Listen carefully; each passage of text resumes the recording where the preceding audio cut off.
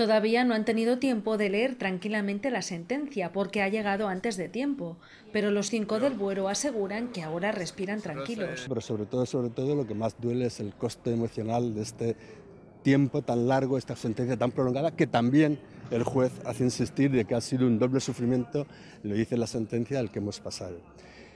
Y nosotros, y también hay que decir, eh, nuestros seres más próximos. La sentencia les absuelve de todas las acusaciones por falta de pruebas. Bueno, en general, eh, en general nosotros fuimos muy coherentes en nuestras declaraciones eh, y nuestros testigos también. Dijimos que no había habido ningún tipo de acto agresivo y luego también es verdad que la policía tuvo contradicciones entre ellas, tuvo momentos difusos y cosas que no quedaron claras al juez. El juez dice que hay falta de pruebas, que no hay ninguna prueba consistente.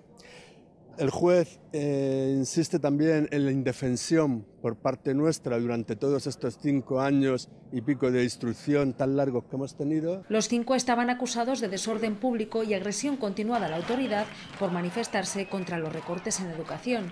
Por estos hechos se les quería poner una pena de cuatro años de cárcel y una multa de 1.200 euros. La solución completa y total ¿eh? De, esto. Sí que es cierto que nos tocará pagar costas, las costas son las tenemos que asumir. Ahora que todo ha pasado, los cinco del Buero quieren agradecer el apoyo y la solidaridad que han recibido de todo el país y aseguran que van a seguir luchando contra aquello que consideran injusto.